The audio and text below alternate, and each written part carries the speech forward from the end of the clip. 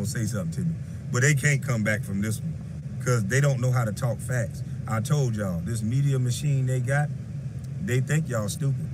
And they've done it for so long where they never had to challenge any one talking point. They just defame the person. And LaVar Ball, Lamar, uh, what is your name? LaVar Ball, the daddy of the ball boys, kudos to you, sir. Because you don't understand how important that you are. Because see, they want to tear down your black sons right away. And they tricking people to think you crazy too. See, niggas been tearing down niggas for forever. Y'all white folks been saying this man is crazy from the beginning. Why is he crazy? Because he wants y'all to talk to his sons about a shoe deal, a partnership, instead of just running to Nike? That make him crazy? Because he thinks his sons are very good basketball players and he talk about it and he manifests that out of his mouth? That make him crazy? This man got two and a half kids in professional basketball. Matter of fact, three. And he crazy? And y'all still think that the media is y'all friend. Y'all still think I'm wrong. As soon as a black man try to go out independent, a white zaddy, and create a shoe company, a chip brand, or anything, they run these ads to defame these guys, and y'all help and join in with it. Yeah, it ain't Nike, my nigga. Shit, it ain't no motherfucking Nike. Shit, if Jordan leave Nike, y'all won't even leave with him. That's how brainwashed y'all are. Y'all don't love Jordan. You love the people who validate Jordan. Because you guys find validation through white people. It ain't good enough until a white person says good enough. That's why you keep worried about what white people doing. But I'm crazy though.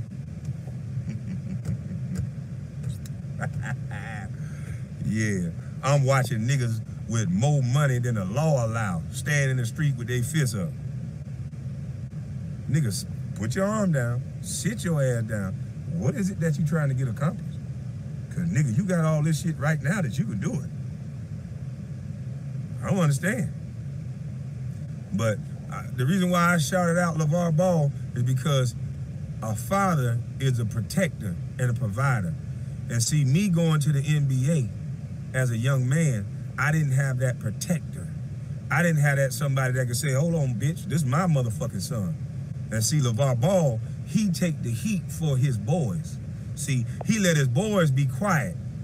And he go up there and cuss their ass out and tell them, what, you stay in your lane. You stay in your place, because he a man.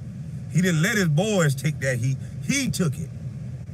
Yeah. And so what did the media start doing?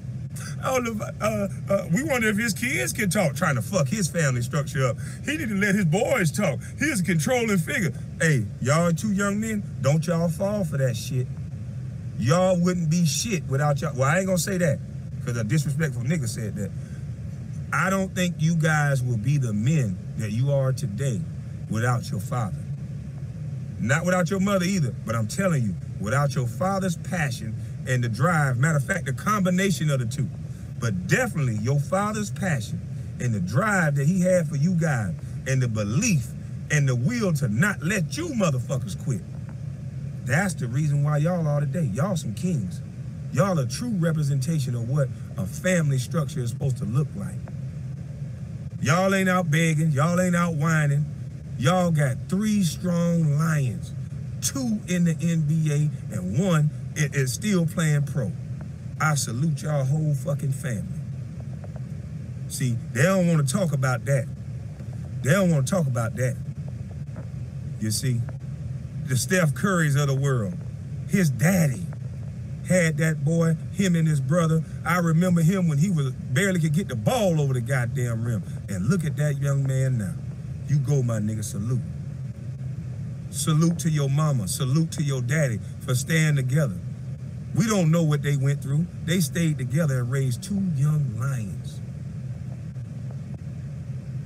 That's how you break a generational curse. You ain't gonna break it by standing next to white people jumping up and down shouting in no motherfucking street. I can bet you that. That's been happening for 50, 60, 70, 80, 90 years. Still think I'm crazy? Y'all have a nice day. Stephen A., you a bitch. But thank you for starting this shit. Hey, white folks, some white folks, the same little yard dog y'all released on me, that same little yard dog y'all released on me, he the reason why I'm finna come back and release my mama's cooking on y'all. See you bitches.